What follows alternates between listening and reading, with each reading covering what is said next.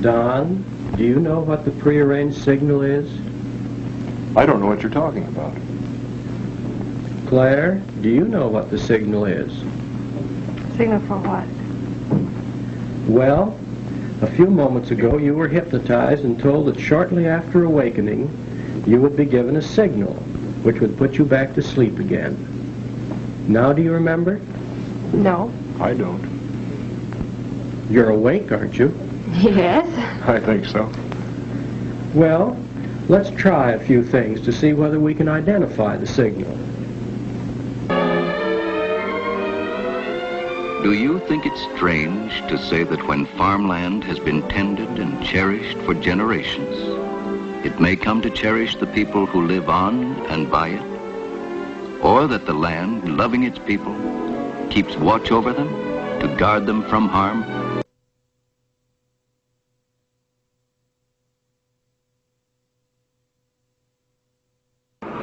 Rug Boys watch as hog carcasses are broken down into primal cuts.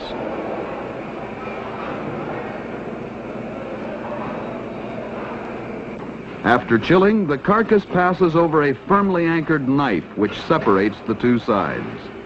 This is the first step in the disassembly of the pork side.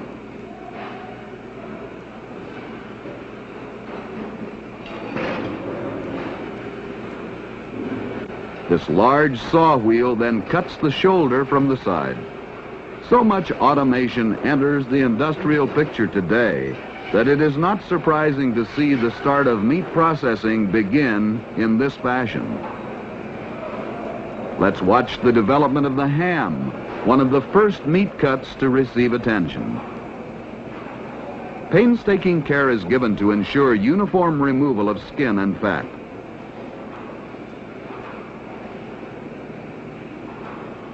A close inspection of the ham follows. The hams slide down a chute to the floor below, where they are fed onto the automatic scaling line.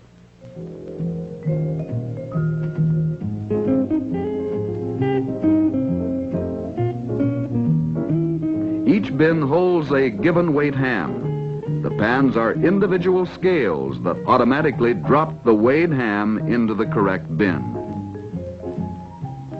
Skillfully removing the bone of hams before processing the famous Hormel Cure 81 ham, canned ham, cooked ham, or ingredient meat for spam. Very choice hams are saved for the production of the Cure 81s. Precise trimming of external and internal fat takes place.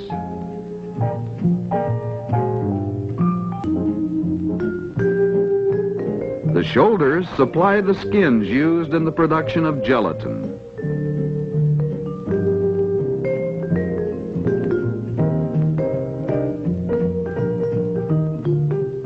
The skins are fed into a grinder and are shown emerging here. A series of cooking, filtering, and chilling operations occur before the gelatin is extruded onto a conveyor belt in this spaghetti-like form.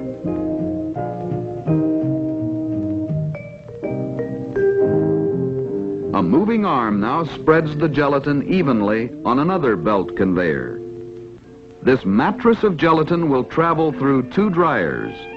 The dried gelatin is now broken down into small particles and conveyed by auger to a grinder for final granulation.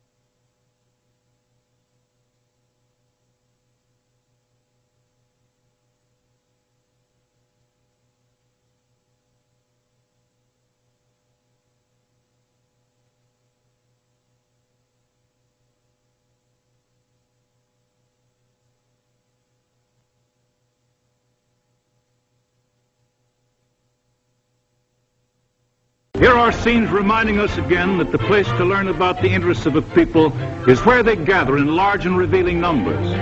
For anyone curious about our national enthusiasms, our pleasures, and our relaxations, the obvious and wise procedure is to go where they are spontaneously displayed.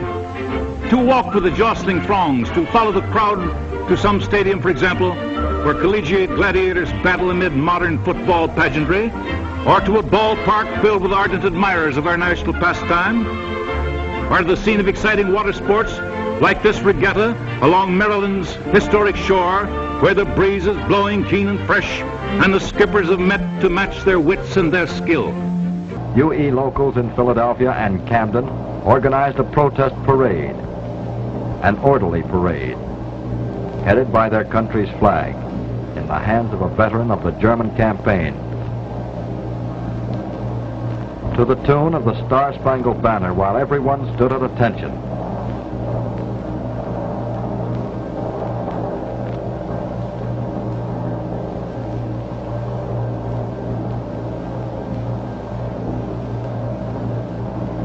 But when the parade started, trouble began.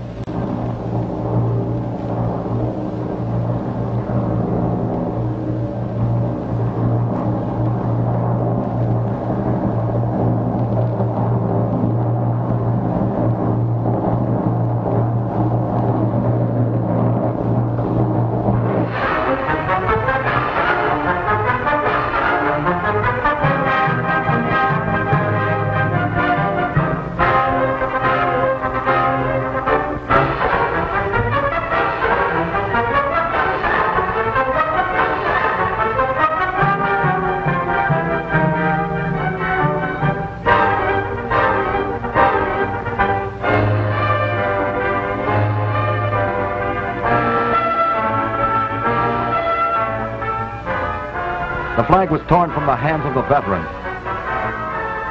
The veteran was beaten.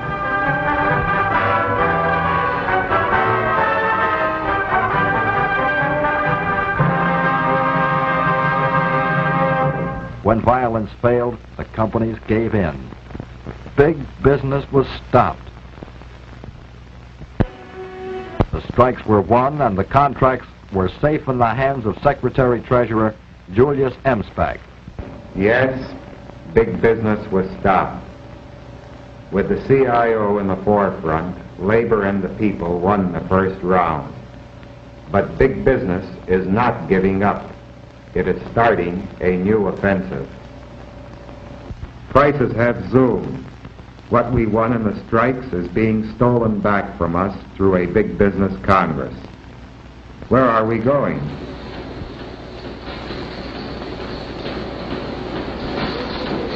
Well, you know what a company town looks like.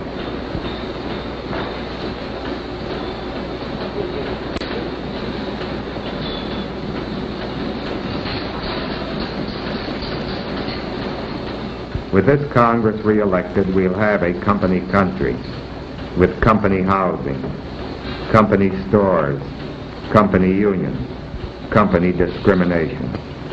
We'll have unemployment at home, and ultimately,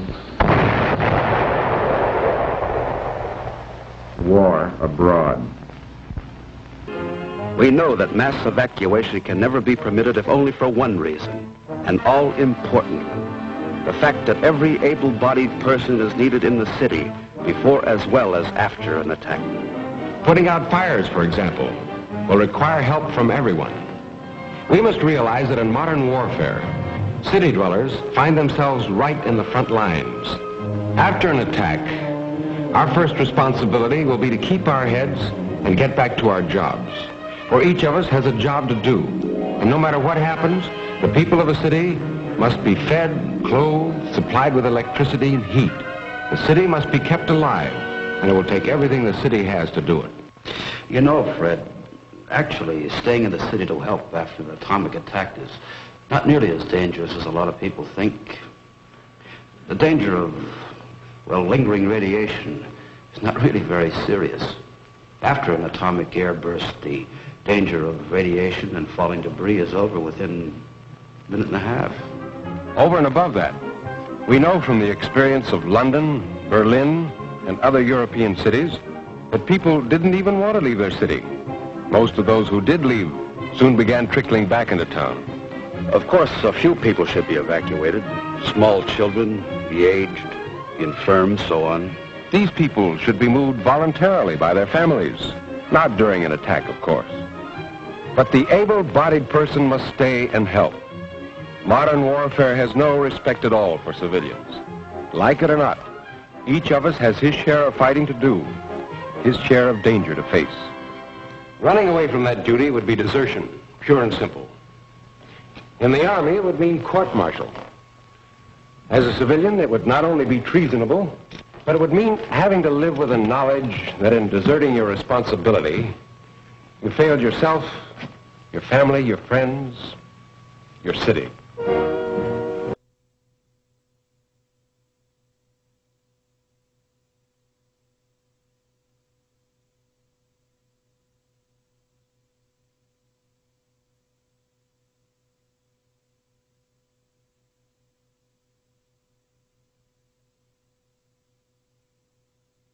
Three identical miniature frame houses, each with varying exterior conditions, all the same distance from the point of the explosion.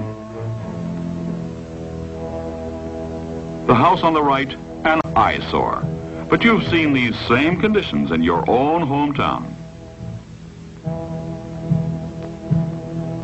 Old, unpainted wood. And look at the paper, leaves, and trash in the yard.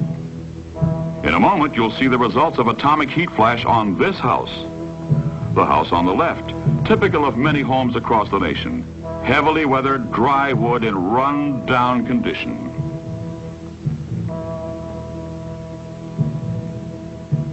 This house is the product of years of neglect. It has not been painted regularly. It's dry and rotten. A tinderbox ready to turn into a blazing torch. The house in the middle, in good condition, with a clean, unlittered yard. The exterior has been painted with ordinary, good quality house paint. Light painted surfaces reflect heat, and the paint also protects the wood from weathering and moisture damage. Let's watch the test now and see what happens under atomic heat.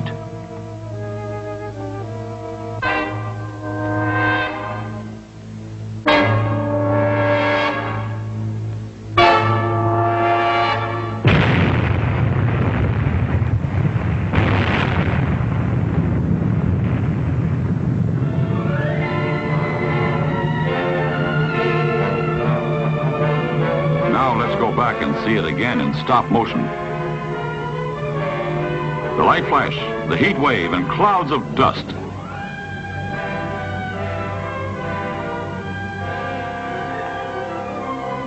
Keep your eye on the house on the right. Notice how the heat wave affects it.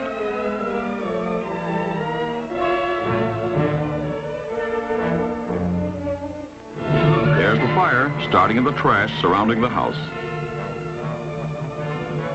Now it spreads to the house itself.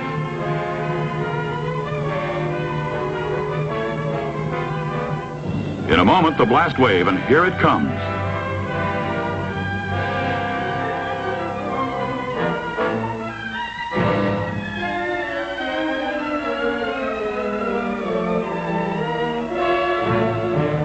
The house on the right is the first to ignite. The trash serves as kindling for the dry, weathered wood.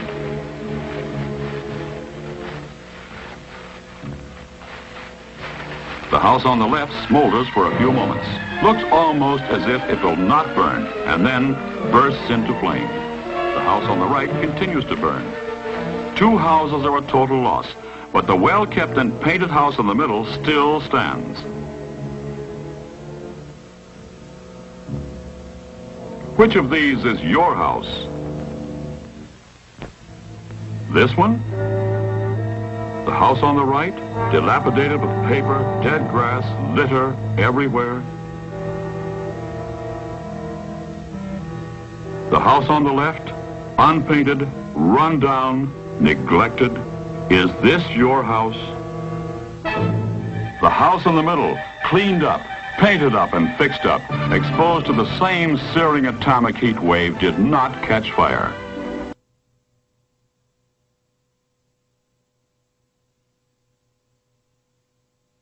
Dad? Dad, can I take the car into town now? Okay, Alan, go ahead. But take it easy. Oh, I'll, I'll be real careful. Goodbye. He'll be all right. Look at the guy go. Hey, maybe we better go along with him, make sure he gets there all right. Okay, buy me soda. Okay, fine. Goodbye, everybody. Bye.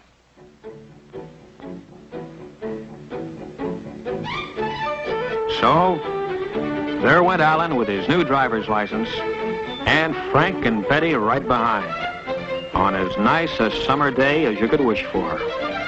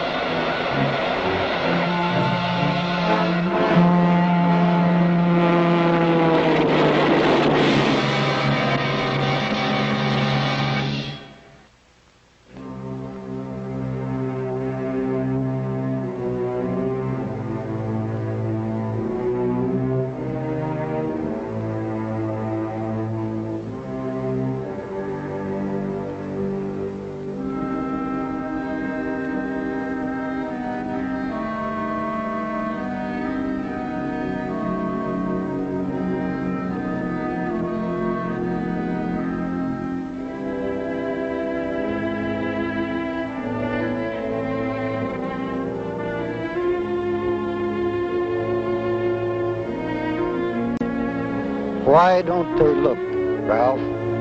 Tell me. Why don't they look?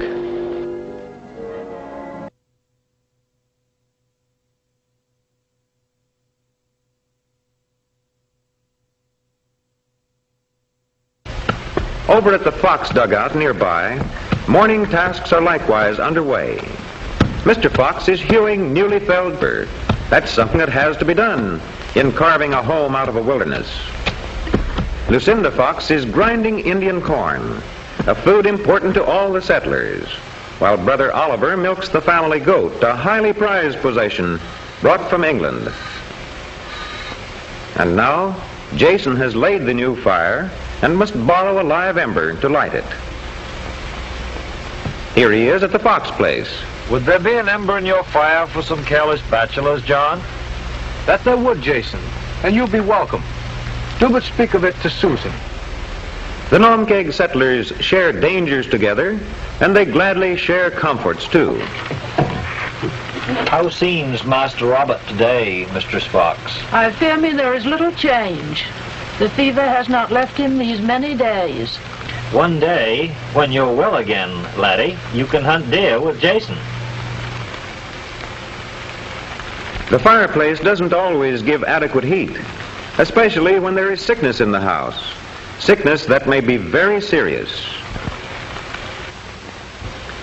In the gardens of the settlement, medicinal herbs are grown, some of local origin and others transplanted from England. Mistress Lane, who is skilled in their preparation and use, supervises a selection to be used in a special broth. Later, she carries her preparation to a case of serious illness in the home of Harold Perry. Here is a draught of herbs, fresh brewed for Mistress Perry. Tis most timely and welcome, for the pain is still sharp. Yes, there is still sickness, and there is still the helpfulness of neighbor toward neighbor. There has to be in a new land where the settlers face the uncertainties of a new way of life. Mistress Perry knows that building a better world requires courage and faith. And these men writing back to England, they know that too. We are sorry to send back the ship without better lading, but there be much sickness among us, and many of our number lack strength to survive the winter's cold. Yet, for the most, we remain of good heart and make what haste we can to build our plantation. Among our number there be those of divers motives, some mainly prizing liberty of conscience, and some chiefly seeking worldly gain. Yet we form one body politic joined by common consent.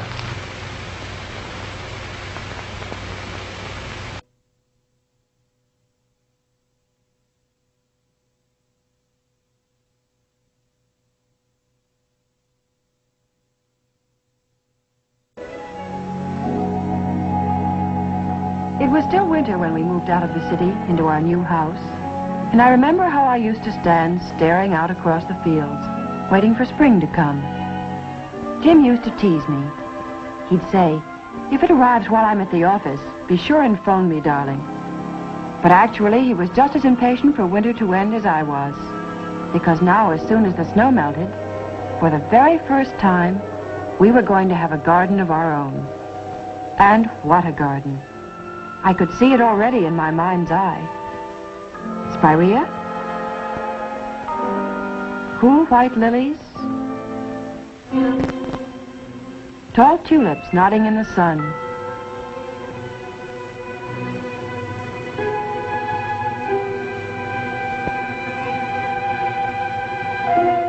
And iris that would outdo an orchid. Spring must have arrived while I stood there dreaming. All of a sudden, everywhere you looked, buds began to swell and burst open.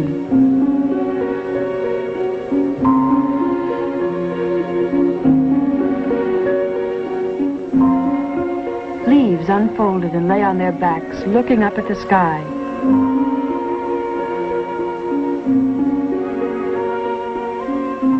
Every wind carried the smell of damp earth and the wet bark of trees drenched by soft spring rain. Now came the moment we'd waited for so long. Out we went, gay as larks, wearing what the well-dressed gardener should wear, and trying not to look self-conscious in our new roles. Ah, what bright new tools, and what bright shining hopes we had.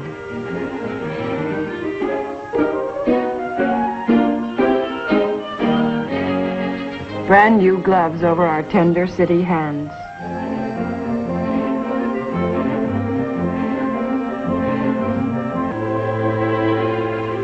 The first trowelful of earth was like a ceremony, a solemn dedication. This was our earth, our very own, more wonderful than any other soil. Miraculous in the hand, our land.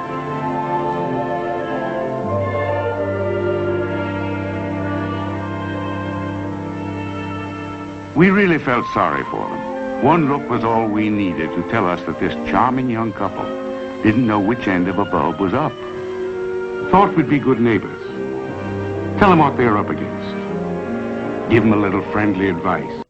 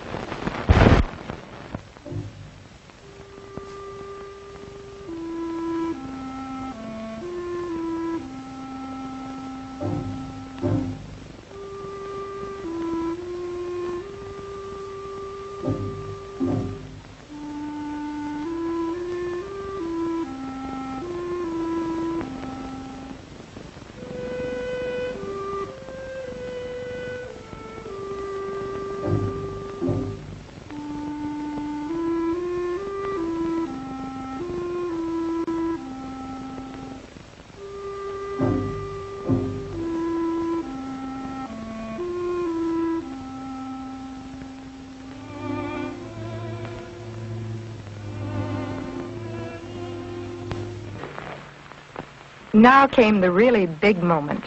Miss Pajunas was going to give us a speed demonstration on the IBM electric typewriter. But first came some warm-up typing at various speeds. She started slowly at 40 words a minute. Picked up speed fast. Now 80 words a minute. In less time than it takes to tell, she was typing at 100 words a minute.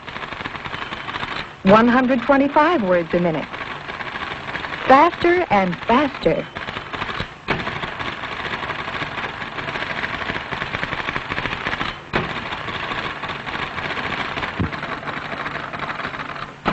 We were seeing for ourselves how intelligent practice and drills repeated over and over again give the fingers dexterity and rhythm, helping to make accurate, expert typists.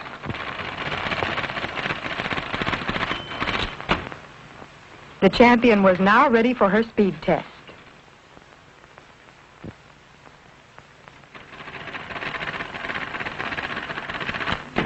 Quickly, she attained top speed, championship speed. As we saw how skillful typists could become on IBM electric typewriters, we knew why Stella Pajunas was the unchallenged world champion.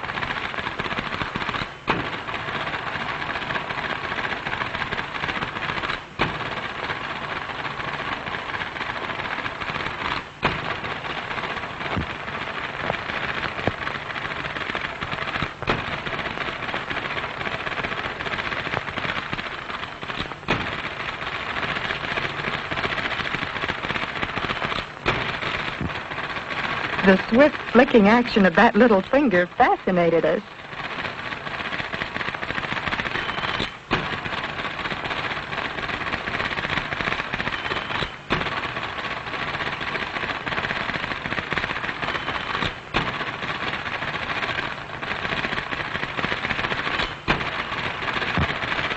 As we watched Stella Pajunas in open-mouthed amazement, we realized that here before our eyes were matched the utmost in human capability and the tops in typewriter efficiency.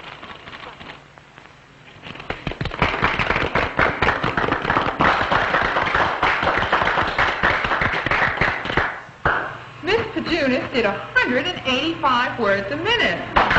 We gave her the kind of ovation a world champion deserves.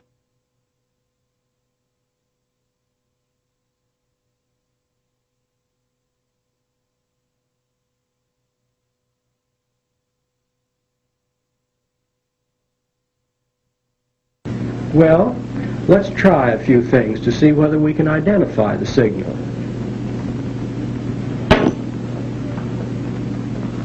Is it that? I don't think so. I don't think so.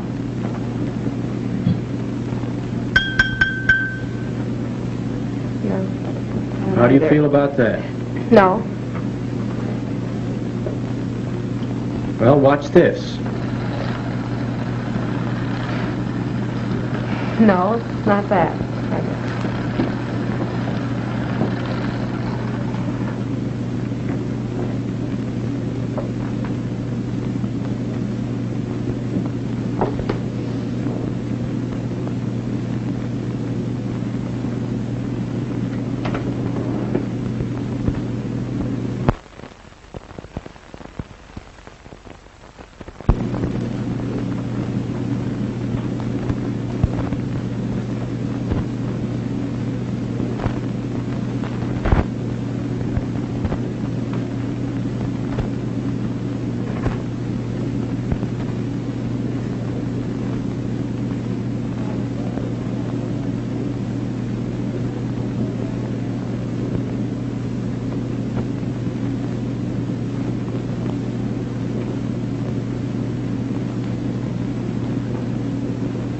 You sound asleep, Claire?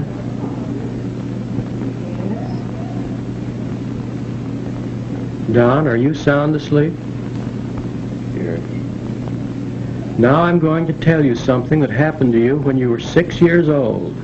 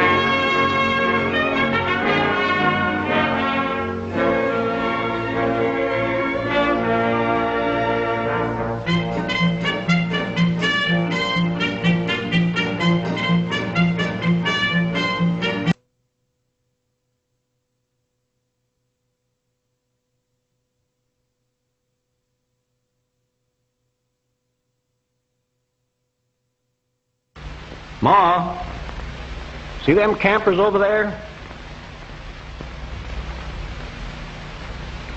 I think we ought to take something to them.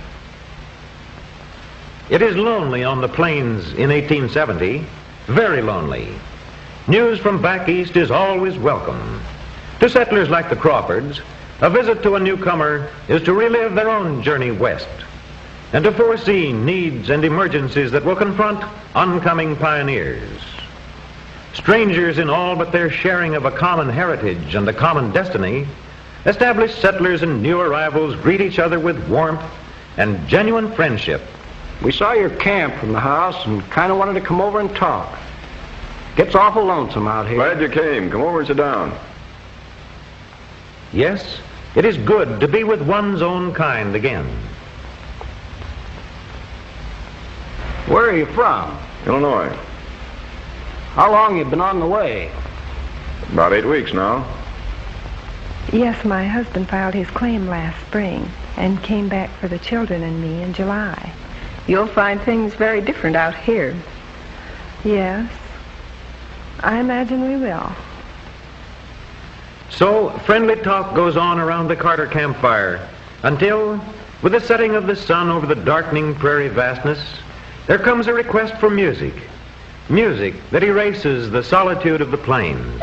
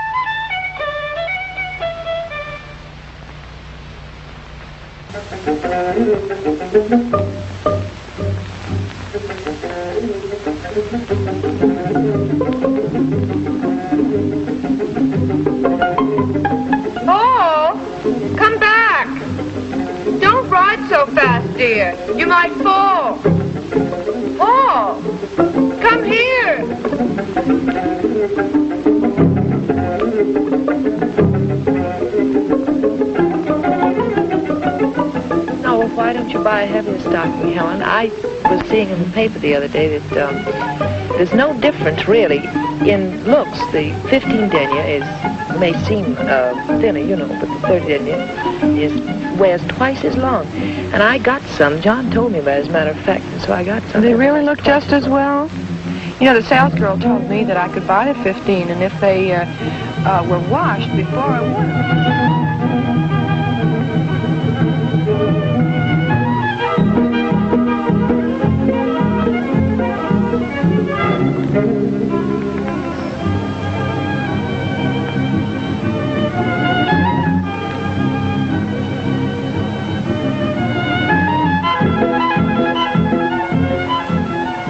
What do you do with a child like that?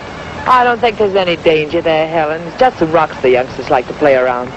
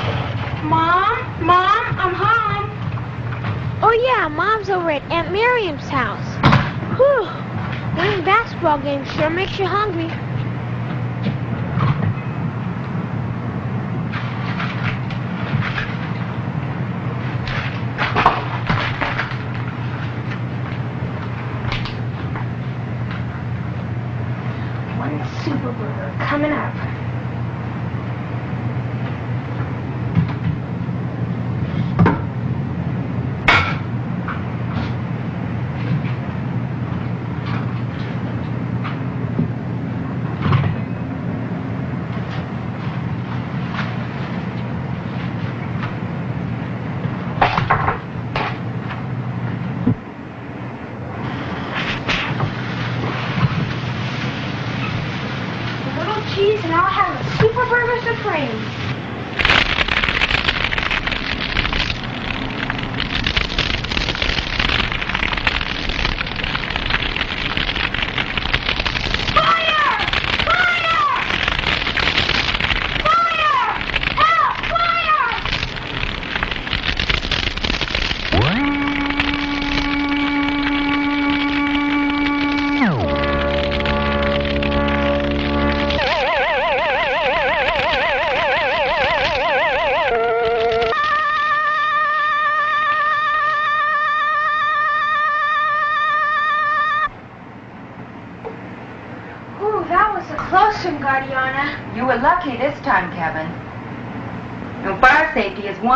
Area where being alert really pays off. And you made that flame way too high, and you left the paper on the stove. If you were aware of that danger, you could have avoided it. You know, something as simple as a can of baking soda spread on that fire would have given you precious moments to think. You're right, safety woman. Do you know the danger dodger salute, Kevin? Aware, alert, alive. That's right. And besides fire prevention, you can practice safety in other ways. Right now, Tommy is taking the door off his old refrigerator. This is a lot of work, but it sure is worth it. Don't want any little kid getting stuck inside and suffocating. Wait till Dad gets home from work and sees the good job I've done. Better put Dad's tools away.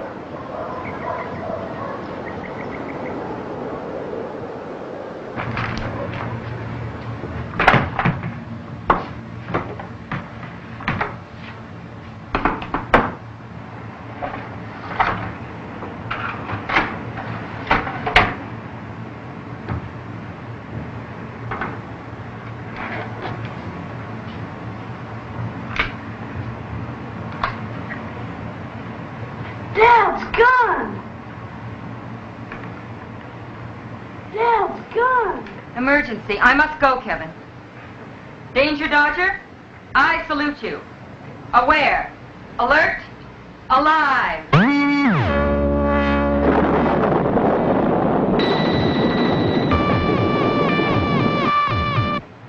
Guardiana, the gun wasn't loaded. Tommy, the one thing everyone needs to know about guns is this. Every gun is a loaded gun.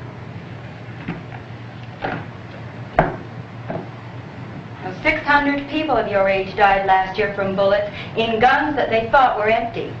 For that reason, guns are never to be played with, not ever. All guns should be safely locked away. I'm sorry, Guardiana. I know, Tommy. But if we're not alert to dangerous things like a gun, how are we going to avoid the more innocent-looking things around our homes that can harm us almost as much?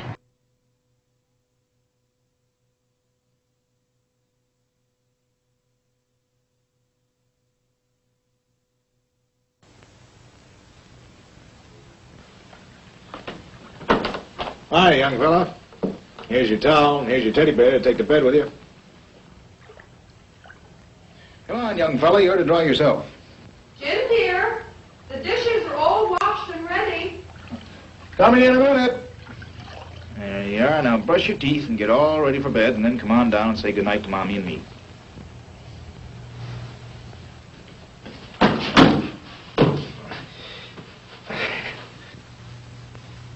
That infernal turtle.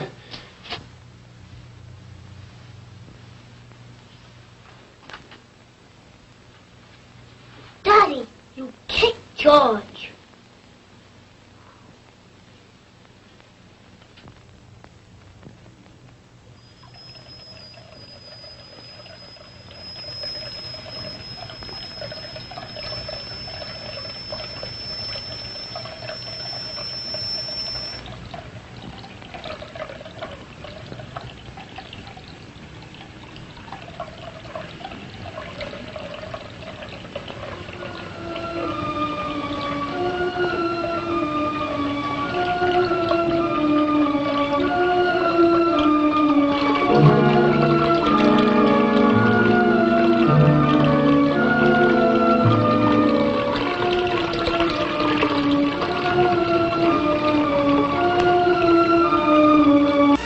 When one human being takes the life of another, either intentionally or through inexcusable carelessness, in such crimes as murder or manslaughter while driving under the influence of liquor or dope, the homicide squad undertakes the solution of the crime and the arrest of the criminals. Happily, such occurrences are rare in St. Paul, and in recent years, practically all killings of this nature have been solved. Five years ago. Something that began right in my own family when Paul was just 10 years old. Bye, Mom. Dad. Paul. You've forgotten your shoes again. Here. Okay. Have a nice day, dear. Bye.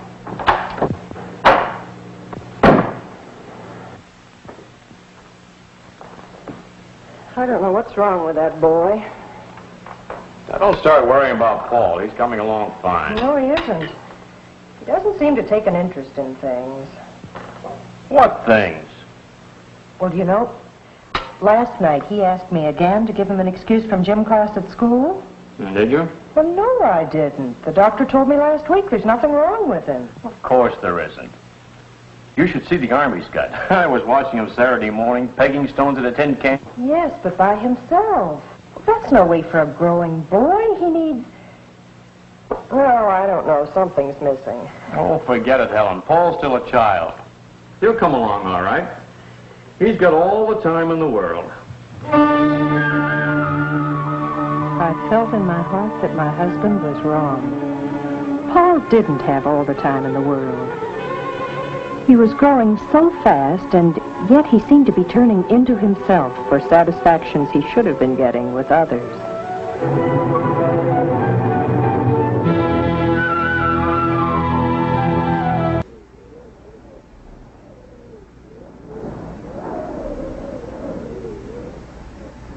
In his twisted mind, Andrew was drowning his stepfather.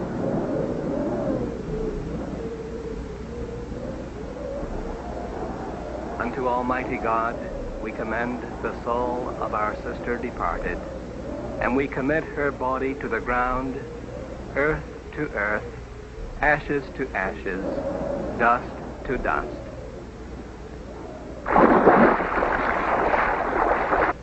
The murder was done, and Andrew disappeared.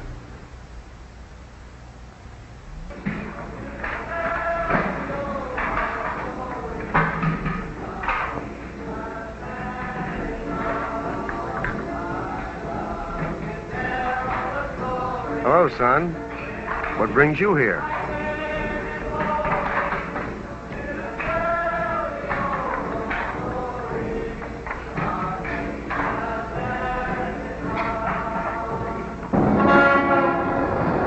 Andrew was on the run, running away from the murder he had committed in his mind.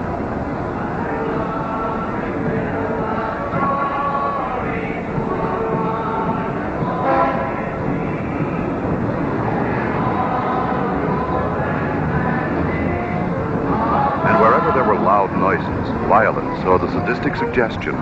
There was Andrew, one high-pitched, piercing note away from real tragedy.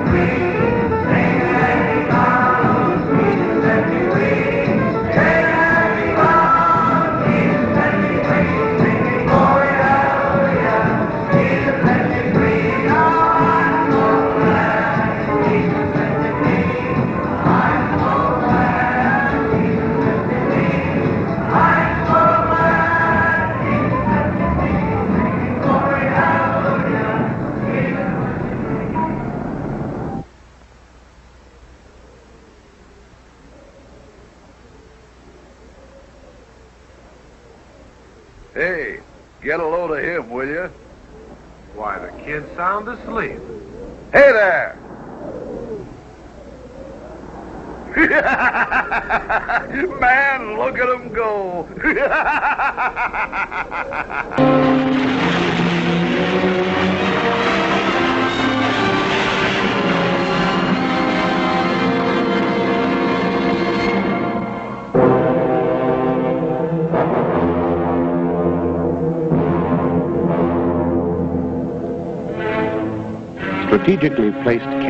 covered everything that happened during impact. We were especially interested in what happened to children with and without belts because this subject had not been explored. But even though they were only dolls, and even though these were scientific experiments, we couldn't avoid a feeling of tension and a sense of impending tragedy. For several months, the collision experiments continued at different speeds, at different points of impact, sometimes with the passengers belted, sometimes unbelted.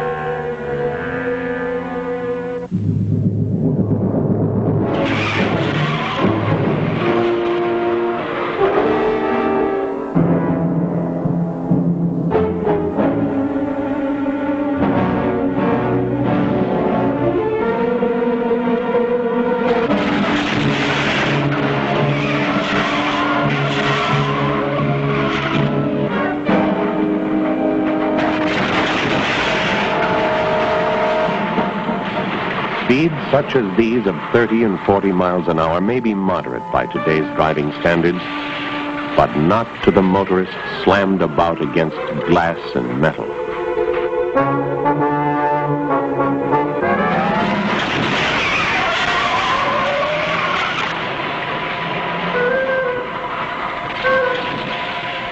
Children should never be allowed to stand on the seat of a car.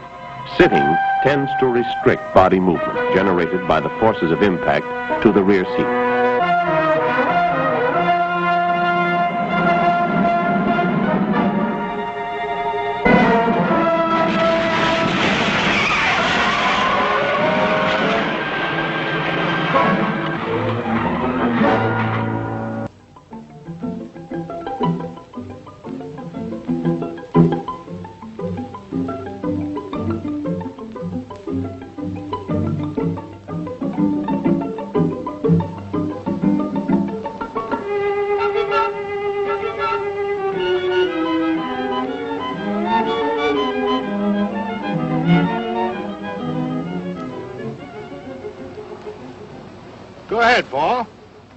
On through. Nothing in there gonna hurt you. I don't want to. Oh, go on. Show Daddy you're not afraid. No, Daddy. Oh, go on, Paul. No! Don't you yell at...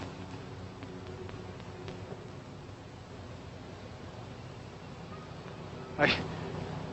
I guess you can get pretty mad sometimes.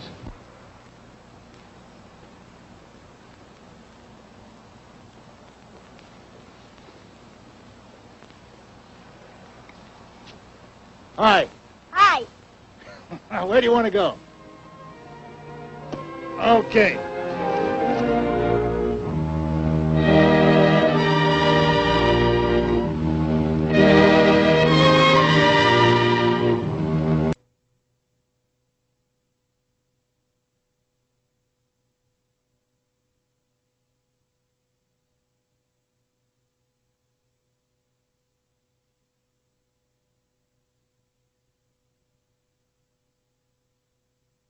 This worry continues to bother you, and it exhibits itself in devious ways in your adult life today. Do you understand? Claire? Do you understand, Don? Yeah.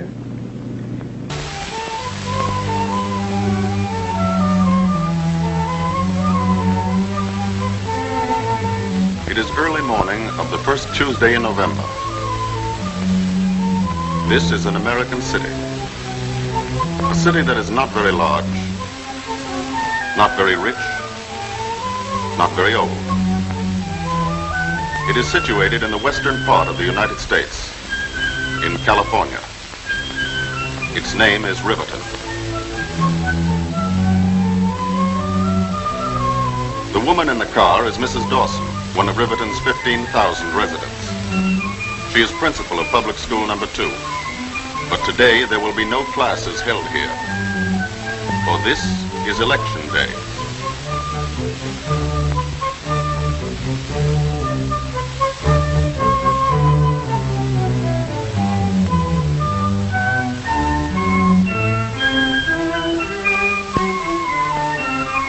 This classroom is one of the 130,000 places the country over in which American citizens are going to cast their votes today. This is the table where the voters' names will be checked.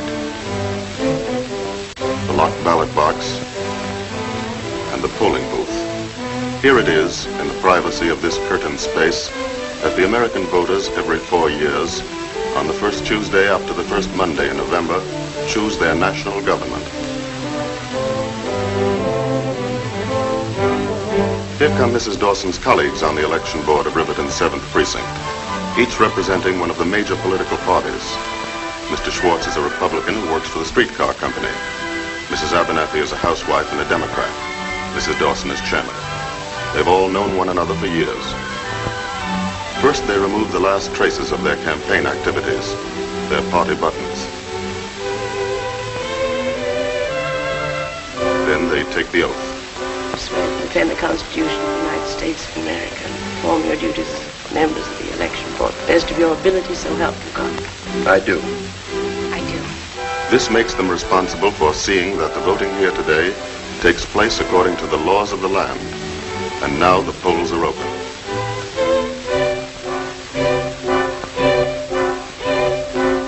Here comes the first voter. No wonder he's first. He's been up since 4 o'clock delivering milk. Bill. Morning, everybody. Top line, you're the very first one. Right on the dot. Always like to vote early. Gives the Republicans a temporary lead. Here's your ballot, Bill. Thanks. Right in there.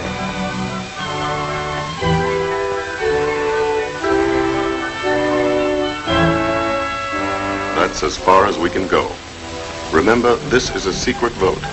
No one ever sees another person mark his ballot. Today, many thinking citizens are concerned about the growing centralization of decisions, controlling the business, the social life, and the public affairs of every community. This was not always so. A century and more ago, the local community was far more independent than it is today. Its citizens were men who believed they were free, free to work as they chose in association with their neighbors, free to seek the good things of life in the manner of their own choosing, free to make their own decisions in most matters affecting them.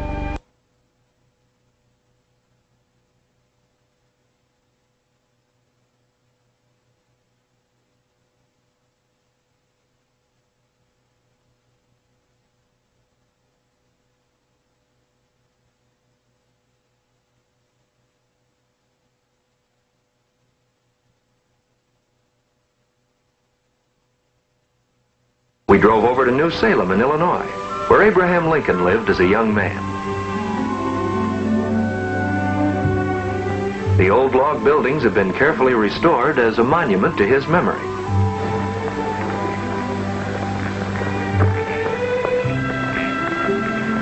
I don't know about you, but a place like this makes me feel a shadow of history. Yeah, I get a whale of a kick out of places like this. You bet. A mighty big chunk of history got started right here. From rail splitter to president. But life must have been pretty rough in those days. How'd you like to travel around behind a pair of oxen? We swung west to the Mississippi and turned north. We were looking at some barges and a river tug when Dad summed it up. Once upon a time, these rivers were our only highways. Today, we have highways all over the country. We drive our own cars. We get on a train, a plane, go from one end of the country to another. And nobody says we can't. The days pass, and steadily the Carters press on westward. Only a little distance now to the claim, already coming into view. But new trials lie ahead. Cattlemen have long considered the plains their land for grazing their vast herds of cattle. Aiming to settle around here, mister? See that cornfield right over there? That's mine. This year's cattle land. It's no good for farming. Have you seen my crop of corn? No, but this is all ex-borrow grazing land. That's not what my claim stakes say. Well, partner, as the saying goes, I guess you just have to live and learn.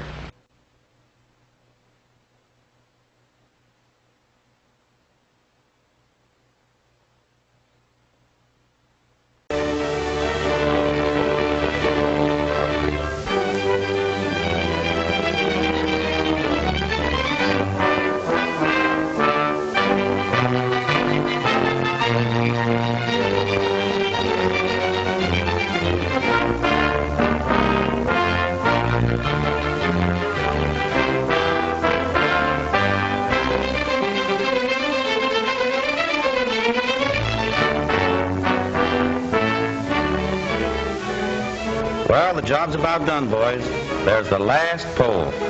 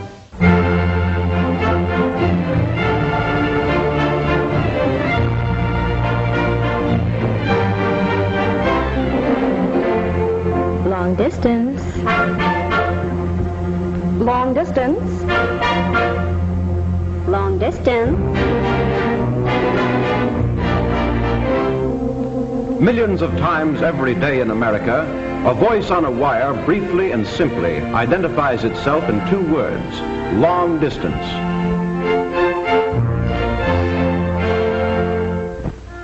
These words form one of the most familiar phrases of our language. It is a phrase that announces an unseen personality, an alert young woman who needs to know only who or where in order to make a path for speech to town or countryside over the horizon. It suggests naturally a watchful feminine presence at a switchboard and the supplementary agency that in a few seconds can select from countless routes the one that best can take this speech to faraway places.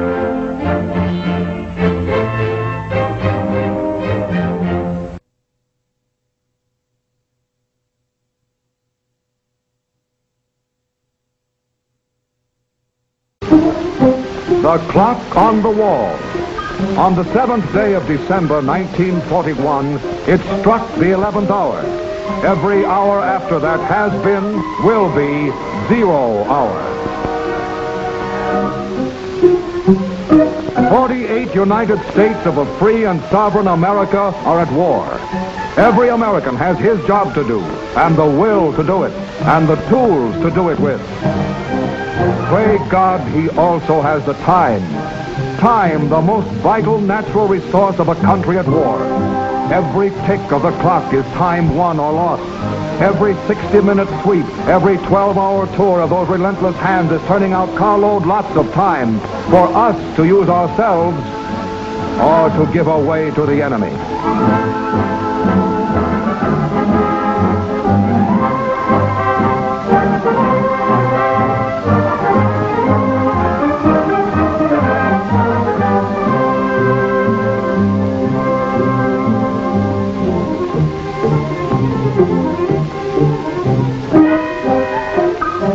scientific devices of chronology are machines manufacturing time.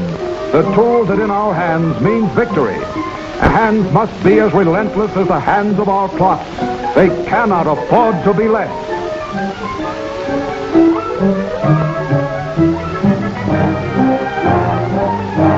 Sunrise over Republic Steel.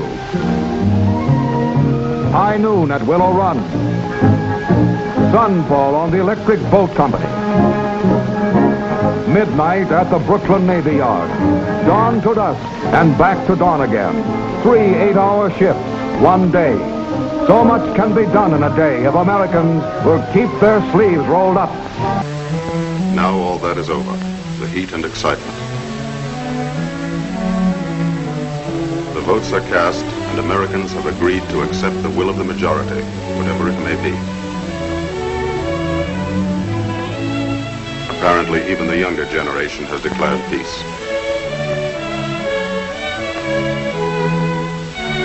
Now the election board begins its last duty, the counting of the votes. The figures are checked and double-checked.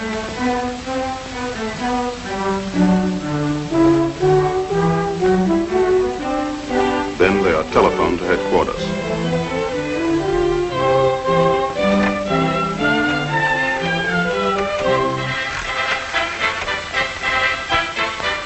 Hello? This is Mrs. Dawson, 7th Precinct. Ready to report. From coast to coast, precinct by precinct, city by city, state by state, the results are recorded.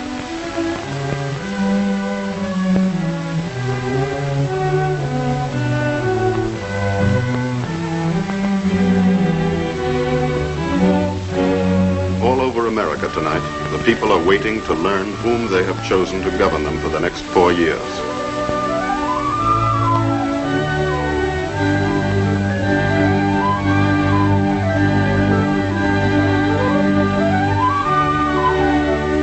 Towards midnight, the final results are announced.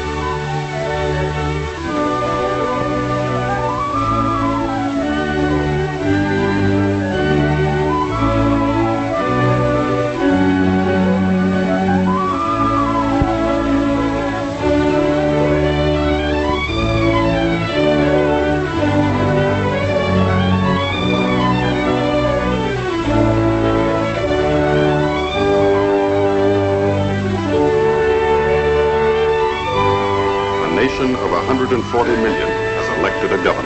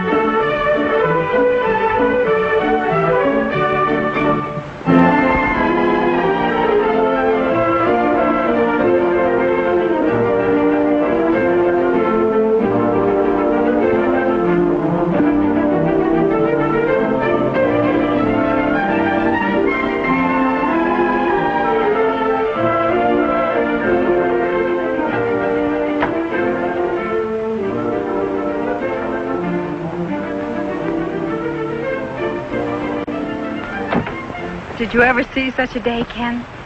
Grandma used to say it's so healthy around here they had to shoot a man to start a graveyard. they say Johnny Appleseed went by this way.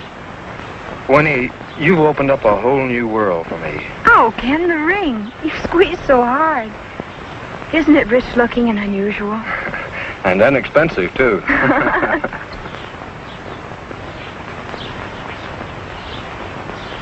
Ken, I can hardly wait until September to get away. It'll be such fun to be together all the time, and we'll be so close to everything in New York. Art shows and foreign films, and I'll even see the ocean for the first time. Ken, do you leave your razor blades lying around? Don't be a Philistine, Winnie. well, it's a lucky thing Fran found us a two and a half off campus. But what'll we put in it? Well, that little Picasso sketch I picked up, that goes in the living room. It's a masterpiece. And the Bendix? You take care of the homemaking. I'll look after the books and records. No male supremacy now, Professor. It doesn't go with your salary. Ken, do you like babies? Sure. Your own? I hadn't thought of it. Are you insured, Ken? No. Why? Well, we know so awfully little about one another, don't we?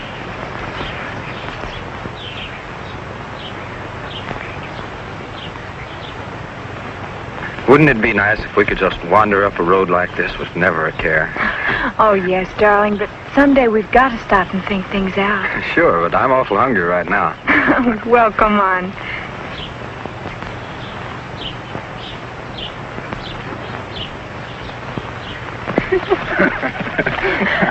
a man chases a woman until she catches him.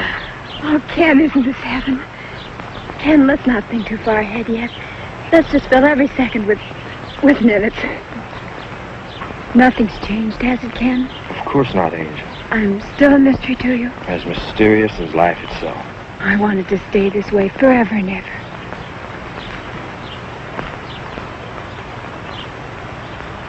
The earth and the grass hold grand international confabulation with the sun, while man, the stumbler and finder, goes on. But, Ken, that's beautiful. You're a great writer. A teacher of great writing, Winnie. That was your most famous poet. Sandburg, I know. But, Ken, you're going to be greater than he. You're going to be one of the most famous novelists in America. If I ever get the novel written. What do you mean, if? Of course you will. That depends on how easy you are to catch with a typewriter. I never run away from you. Not really. Sometimes you do. I think I've caught the way you talk or feel, but when I try to put the words on paper, they don't ring true. I realize that I don't know you well enough to recreate you. You will, Ken. I have all the faith in the world in you.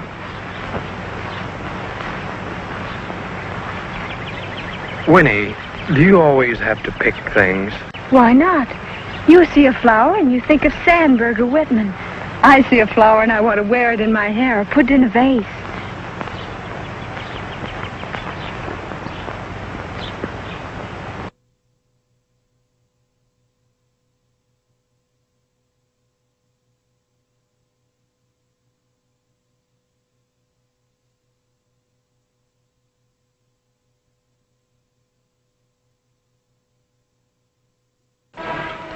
These busy families make the shopping centers look young and colorful.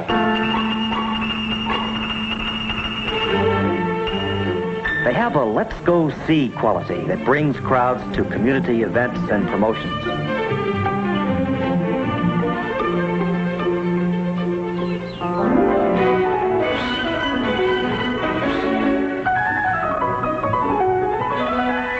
For the children, whom the young adults have always at hand, there's plenty to do and see. While his family shops, a boy can catch a fish, ride the rides, go to the circus, visit the center zoo, and have his hair cut. And if that doesn't tire him out, his mother can put him in the center's nursery school, where he can get paint on his shirt, see his friends, and wear himself out on the bars.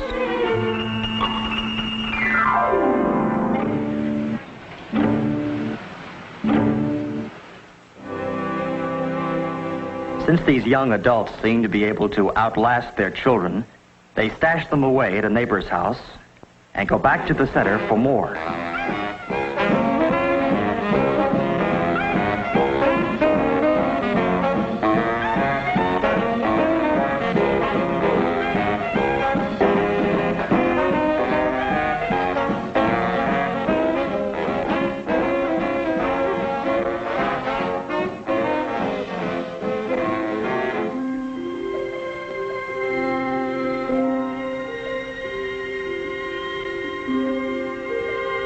Is the life young adults lead.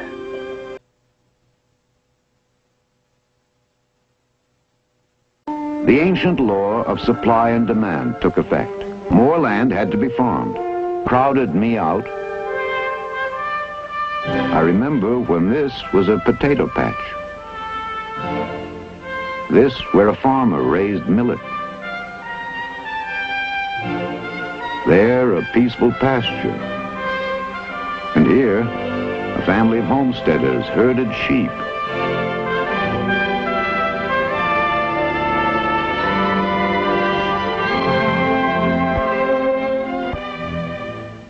He sees himself in the hubcap. He wants to play. Suppose we take the average man just as he stands and see what he would look like if he were penalized by having everything about him which comes directly or indirectly from animals taken from him.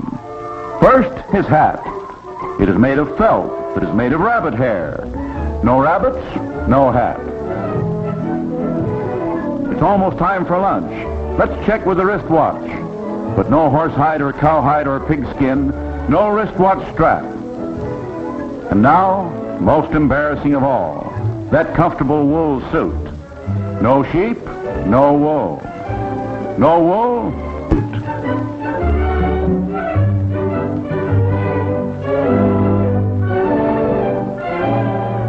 And if he seeks to run away, he'll have to go barefooted, for animal leather enables him to have shoes. And that isn't all. We'll save him the embarrassment of pointing out that the cotton in his undergarment couldn't have been cultivated if it weren't for these hard-working plantation animals and animal fertilizer. But of course, we all could wear barrels. Great artists have been at a loss to properly catch on canvas the simple beauty of sheep serenely grazing. Woolly wanderers, almost a million of them, slowly moving from place to place, on intimate terms with the natural beauty that surrounds them. Sheep raising is a major Utah industry, yielding more than $20 million annually. No story ever told is so utterly amazing and dramatic as that miracle of 1848, which prompted this memorial to seagulls, the only monument ever erected to bird life in America. Picture, if you can, pioneers rejoicing over the prospect of harvesting their first crop. Without warning, hordes of crickets start devouring every green thing. Pioneers fight to save the precious grain. Discouraged, they offer prayer. Suddenly, the heavens are filled with flocks of seagulls who devour the crickets, and so a column is erected in remembrance of the mercy of God to the Mormon pioneers.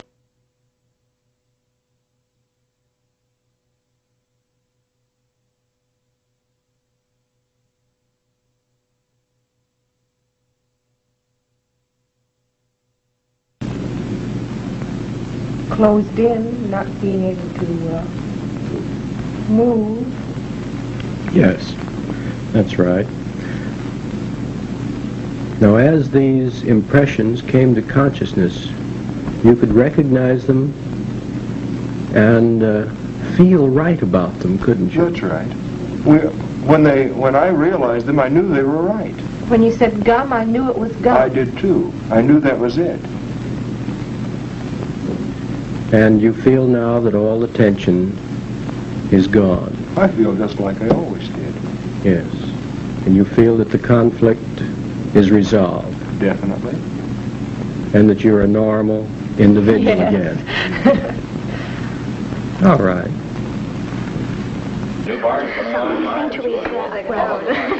They all got out. You know, I think something good is coming out of all this. I like to think it all happened because our land loves us.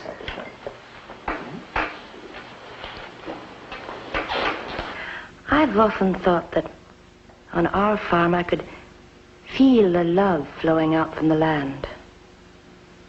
To Jim and me and to our children. I think it's the same on all the farms around us. Makes us feel warm and safe and protected. Just like when we were children and knew our parents loved us.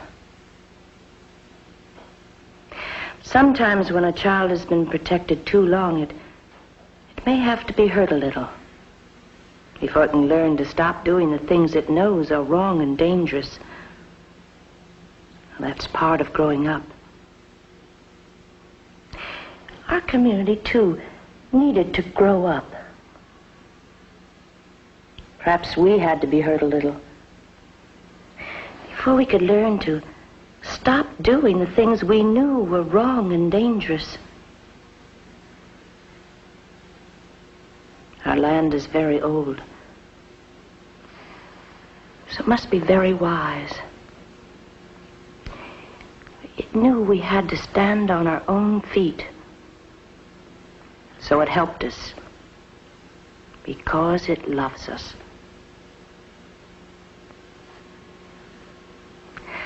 That's the way I like to think it is.